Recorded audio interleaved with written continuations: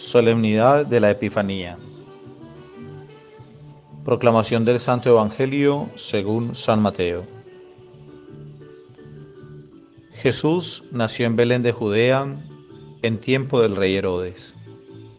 Unos magos que venían del oriente se presentaron en Jerusalén diciendo, ¿Dónde está el rey de los judíos que ha nacido?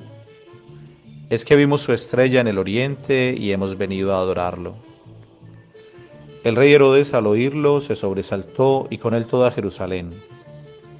Así que convocó a todos los sumos sacerdotes y escribas del pueblo, y les preguntó dónde había de nacer el Cristo. Ellos le respondieron, en Belén de Judea, porque así lo dejó escrito el profeta. Y tú, Belén, tierra de Judá, no eres la menor entre los principales clanes de Judá porque de ti saldrá un caudillo que apacentará a mi pueblo Israel. Entonces Herodes llamó aparte a los magos y gracias a sus datos pudo precisar el tiempo de la aparición de la estrella. Después los envió a Belén con este encargo. Id e indagad cuidadosamente sobre ese niño. Y cuando lo encontréis, comunicádmelo para ir también yo a adorarlo. Ellos después de oír al rey se pusieron en camino. La estrella que habían visto en el oriente iba delante de ellos hasta que llegó y se detuvo encima del lugar donde estaba el niño. Al ver la estrella se llenaron de inmensa alegría. Al entrar en la casa vieron al niño con María, su madre. Entonces se postraron y lo adoraron. Abrieron luego sus cofres y le ofrecieron dones de oro, incienso y mirra. Pero avisados en sueños que no volvieran a Herodes, regresaron a su país por otro camino. Palabra del Señor. Gloria a ti, Señor Jesús.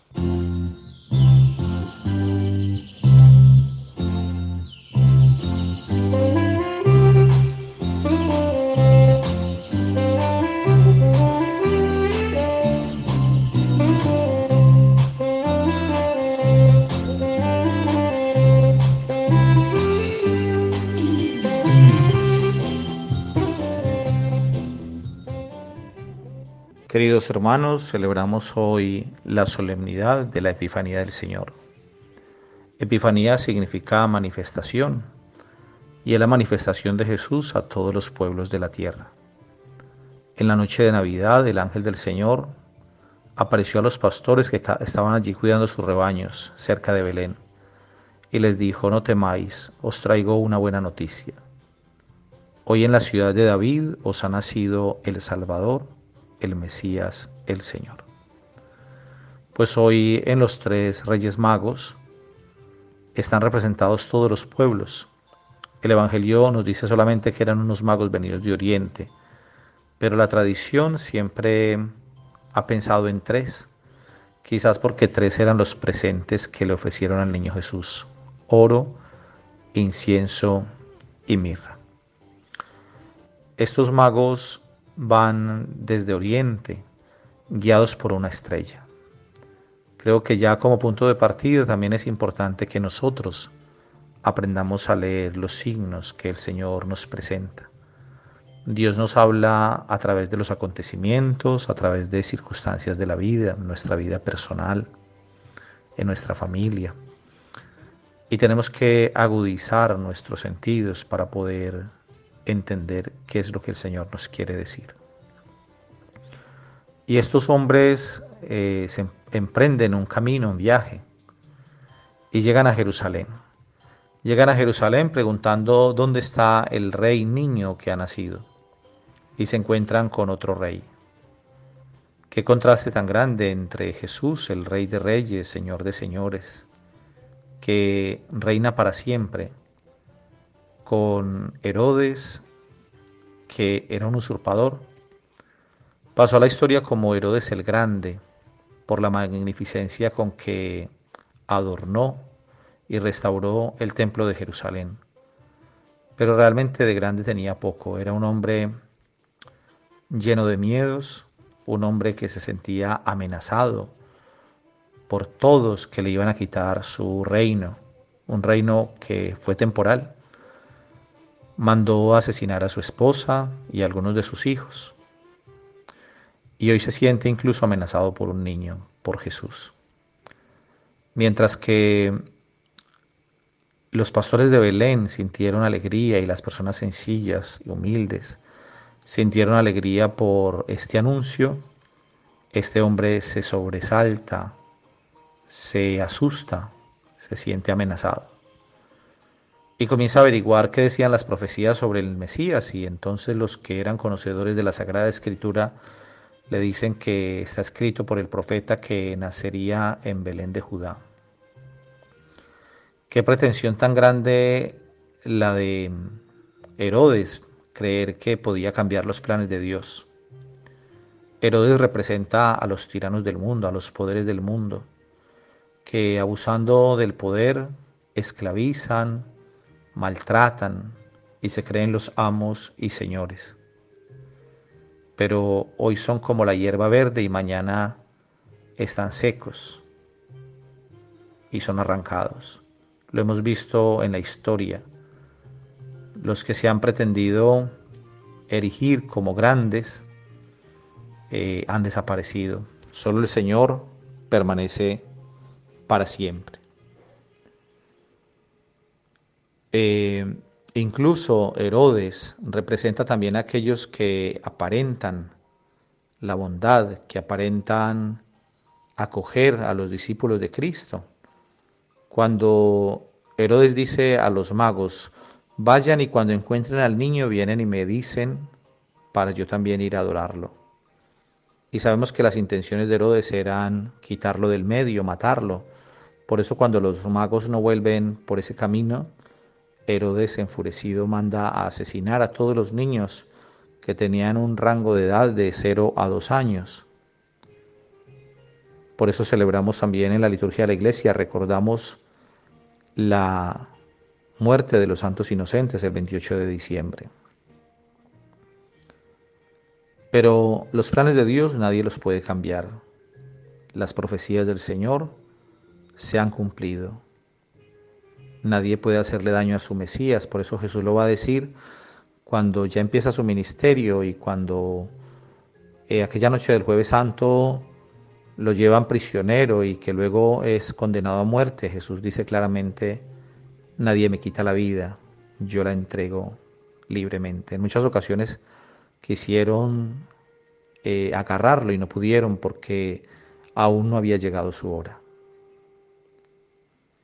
Cuando los magos de Oriente llegan al lugar donde se detiene la estrella, sienten una gran alegría. La estrella había sido solamente como el medio por el que Dios los fue conduciendo hasta el lugar donde estaba el niño Jesús. Que nosotros también en nuestra vida seamos capaces de leer los signos, pero que pongamos la mirada en el Señor. Que Él sea nuestra búsqueda cotidiana que lo busquemos incansablemente día y noche. Experimentaron alegría cuando se detuvo la estrella porque era el signo que habían llegado a su destino. Y al entrar encuentran al niño junto a su madre y se arrodillan y lo adoran. Este gesto que viene relatado en el Evangelio de Mateo es muy importante. Adorar al Señor, reconocerlo como el Señor, Hoy cuando el mundo se arrodilla ante tantas cosas, ante el poder, ante el placer, ante el tener, ante tanta vanidad, y el Señor hoy nos dice que solo Él debe ser adorado. Le ofrecieron incienso, mirra y oro. Le ofrecen oro como a un rey, el Señor es rey de reyes y Señor de señores. Y el oro era lo que se ofrecía a los reyes. Le ofrecieron incienso. Uno de los salmos nos dice, suba mi oración como incienso en tu presencia, Señor. El incienso se ofrece a Dios, es reconocer la divinidad de Jesús. Y le ofrecieron mirra. La mirra significa el sufrimiento. Esa parte humana de Jesús, vemos que desde niño ya fue perseguido la Virgen María y San José, la Santísima Virgen María, tuvieron que escapar a Egipto para proteger al niño de la amenaza de Herodes. Y desde que Jesús comienza su ministerio, vemos que tiene muchos enemigos que quieren quitarlo del medio. Eso significa la mirra, es decir, que ya hay ahí una profecía de lo que será la vida de Jesús, una vida de persecución de muchos que, como dice el Evangelio de Juan, no lo acogieron. La luz vino y las tinieblas no lo acogieron. Vino a los suyos y lo rechazaron. Pidámosle hoy, queridos hermanos, en esta solemnidad de la Epifanía, que nosotros también nos podemos, podamos postrar en adoración delante del Señor. Y sobre todo en un mundo que nos quiere engañar, en un mundo donde se nos dice que Jesús es igual a cualquier propuesta religiosa. Lo hemos visto con dolor muchas veces, incluso al interior de la iglesia, de muchos falsos profetas, de muchos falsos predicadores, que nos han querido vender la idea de que nos tenemos que querer, nos tenemos que amar, nos tenemos que respetar, nos tenemos que tolerar. Y todas las religiones van al mismo lugar. Todos los caminos conducen al mismo sitio, por lo tanto, lo más importante es que seamos buenas personas, que no le hagamos mal a nadie. Y todas las religiones son lo mismo, es decir, que Jesús, Buda, Mahoma y cualquier cosa que aparezca la podemos podemos equiparar al Señor al mismo nivel, pues no. Hoy queda claro que Jesús es el Señor y que todos los pueblos de la tierra se postran a adorarlo porque Él es el único Señor, el único Dios. Por eso no caigamos en la trampa, queridos hermanos, de aquellos que nos dicen que todo se vale y que todas las religiones son lo mismo. No son lo mismo. El Señor nos ha dicho claramente en su palabra, yo soy el camino, la verdad y la vida, nadie va al Padre sino por mí. Hay un solo mediador entre Dios y los hombres y este es Jesucristo. Jesucristo dijo a sus discípulos, vayan y anuncien el Evangelio, la buena noticia, a toda la creación y bautícenlos en el nombre del Padre y del Hijo y del Espíritu Santo. Y el que crea será salvado y el que no crea será condenado. Por lo tanto, hermanos, no tendría sentido el bautismo si todo fuera igual, si todas las religiones y todos los grupos eh, fueran iguales, pues no tendría sentido anunciar el Evangelio, no tendría sentido practicar la vida sacramental, no tendría sentido ir a misa el domingo, no tendría sentido nada, sería simplemente que todos seamos buenas personas y nos queramos y nos apreciemos.